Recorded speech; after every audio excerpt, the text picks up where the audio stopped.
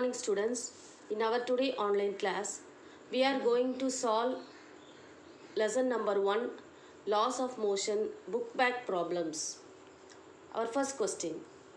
When two bodies have a mass of ratio 3 is to 4, the force applied on the bigger mass produces an acceleration of 12 meter per second square what could be the acceleration of the other body?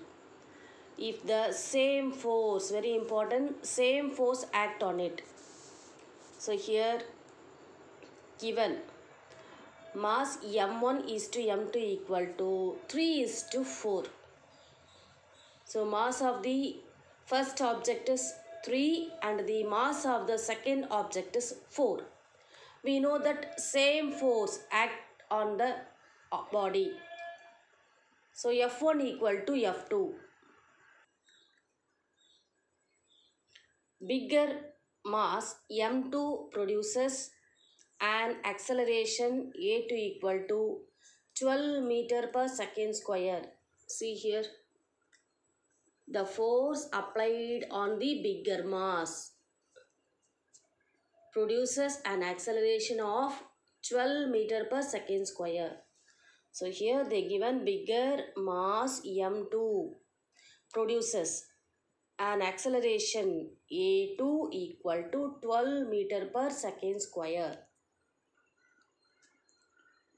According to Newton's second law, we know that formula for Newton's second law force equal to mass into acceleration.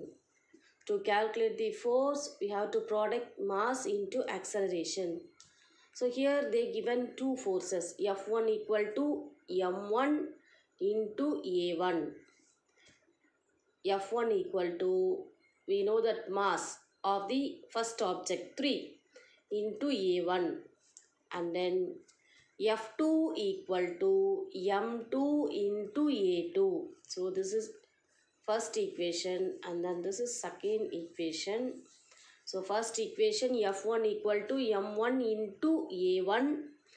F1 equal to 3 into A1 and then F2 equal to M2 into A2.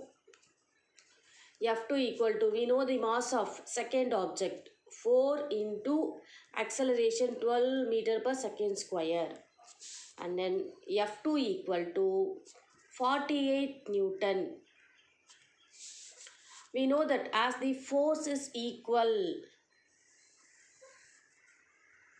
F1 equal to F2.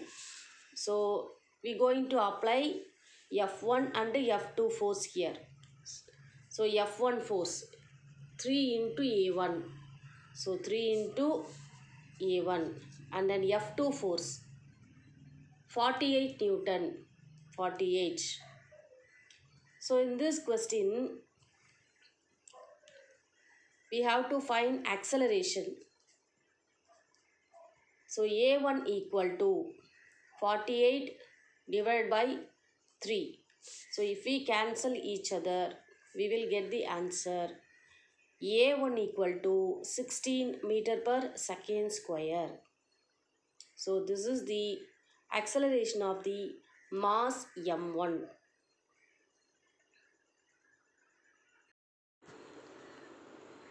Second question. A ball of mass 1 kg moving with a speed of 10 meter per second rebounds after a perfect elastic collision with the floor.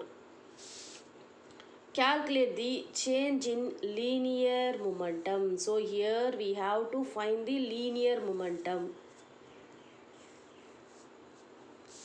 of the ball.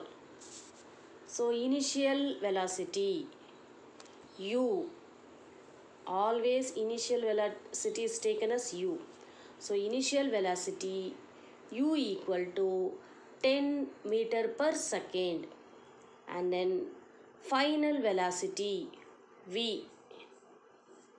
equal to minus 10 meter per second. We know that mass of the object is given here 1 kg. See here a ball of mass 1 kg. So m equal to 1 kg. And then we know that formula for momentum P equal to m into v. So momentum equal to mass into velocity.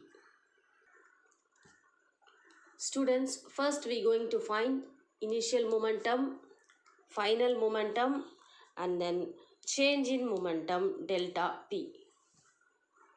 Initial momentum Pi. So Pi equal to m into v. So mass is 1 kg into velocity 10 meter per second. So if we multiple both, we will get 10 kilogram meter per second. And then final momentum Pf. Pf equal to m into v equal to 1 into minus 10. So if we multiple both the term, we will get minus 10 kilogram meter per second. And then change in momentum delta P. Delta P equal to Pf minus Pi. So initial momentum for Pi and uh, final momentum for Pf.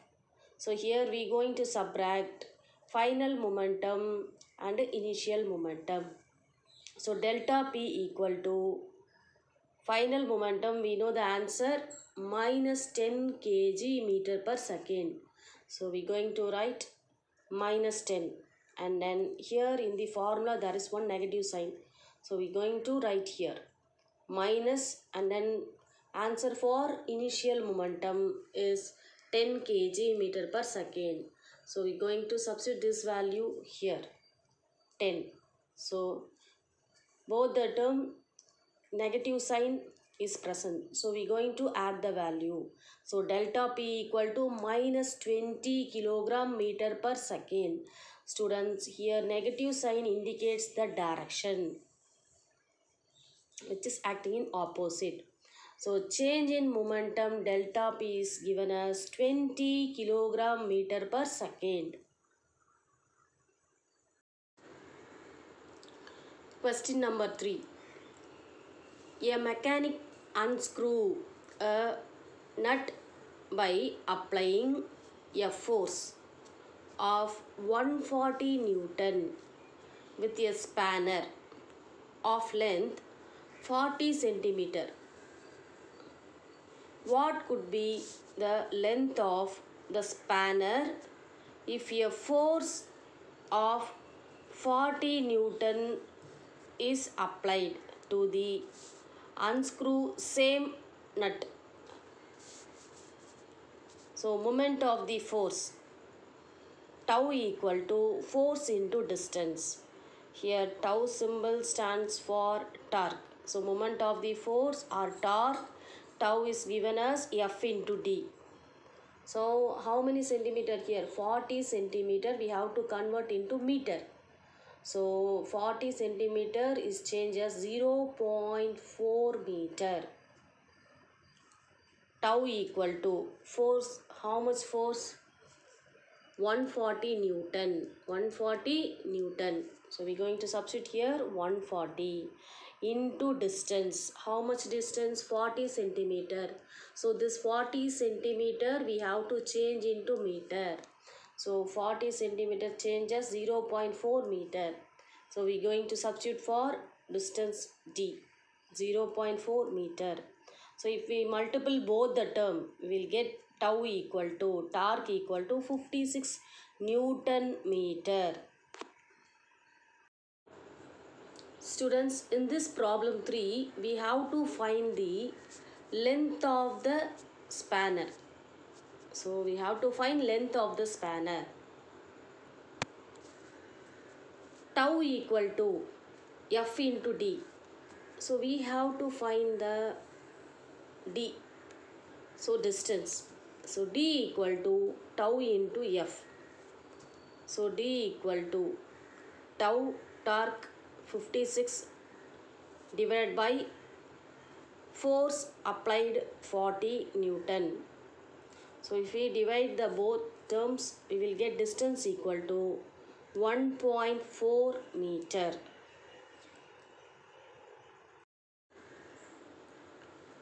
Question number 4.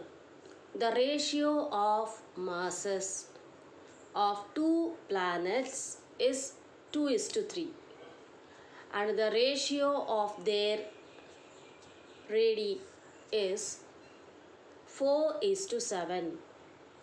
In this problem, we have to find the ratio of their acceleration due to gravity small g. So we have to find acceleration due to gravity small g. So given values are ratio of masses 2 is to 3. 2 is to 3. M1 is to M2 equal to 2 is to 3. And then ratio of radii equal to 4 is to 7. So here they given ratio of their radii is 4 is to 7. So 4 is to 7. So we have to find ratio of acceleration due to gravity. We know that formula to find acceleration due to gravity g equal to gm by r square. Here capital G is universal gravitational constant. Capital M is mass of the earth and then capital R is radius of the earth. So here formula is given G1 equal to G M1 divided by R1 square is taken as equation 1 and then G2 equal to G M2 divided by R2 square is taken as equation 2. Solution so G1 divided by G2 equal to G1 value. What is the G1 value? G M1 divided by R1 square. So we going to substitute here. G M1 divided by R1 square. And then acceleration due to gravity of mass M2 equal to G M2 divided by R2 square. So here capital G is a universal gravitational constant. This value will never change. G1 divided by G2 equal to G M1 divided by R1 square into R2 square divided by GM2. Here we going to reverse the term and then cancel capital G capital G and then G1 divided by G2 equal to M1 divided by M2. So here we consider mass one side and then radius in another side. So M1 divided by M2 and then into R2 square divided by R1 square. And then we going to substitute the values. G1 divided by G2 equal to mass of the object M1 is given as 2 and then M2 is given as 3 and then into radius of the object R2 is 7 so here they given a square. So 7 square and then radius of the mass M1 is 4 so 4 square. And then G1 divided by G2 equal to 2 by 3 into 7 into 7 49 and then 4 into 4 16 so if we cancel each other so 1 into 49 divided by 3 into 8 so G1 divided by G2 equal to 49 divided by 24 3 into 8 24 and then ratio of G acceleration due to gravity is 49 is to 24 so here G1 is to G2 equal to 49 is to 24 is the answer. Students, up to this our book back problem for lesson number 1 laws of motion is over.